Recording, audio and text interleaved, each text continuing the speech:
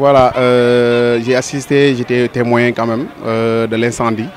Euh, moi, j'étais de passage, juste j'ai trouvé les femmes qui criaient.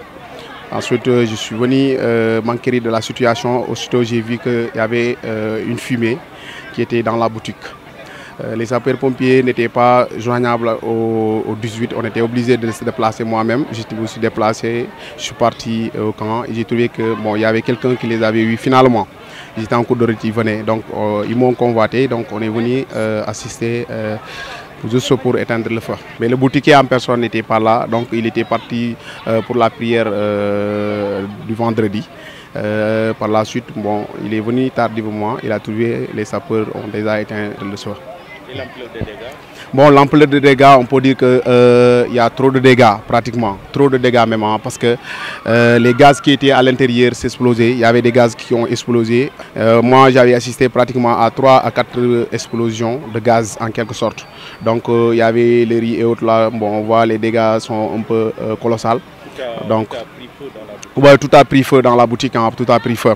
Parce Des que, millions de pertes. ouais, c'est des millions de pertes parce que c'était une boutique remplie aussi, quoi qu'on puisse dire. C'est une grande boutique du quartier, euh, j'ose le dire, parce que apparemment tous les environnants, euh, eux aussi, ils s'en profitaient euh, de la boutique pour faire des achats et autres.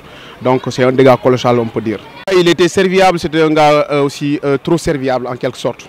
Parce que quand tu venais Diallo, Diallo, les enfants, Diallo et autres, donc c'était serviable, il était serviable. Moi, pratiquement d'autres achats, je les faisais ici. Donc euh, je lance un appel euh, aux bonnes volontés. Parce qu'aujourd'hui, ça c'est une perte énorme. Parce que c'est des millions, une perte énorme. Les gaz simple- seulement, donc les gaz ils peuvent atteindre une trentaine de gaz. Donc sans compter euh, les riz et autres matériels. Donc je lance un appel solennel à tout le monde pour qu'il puisse aider ce dernier parce qu'il était un gars serviable pour le quartier. Donc le quartier en a besoin de ces genres de boutiquiers qui sont dans les quartiers et qui sont serviables en quelque sorte.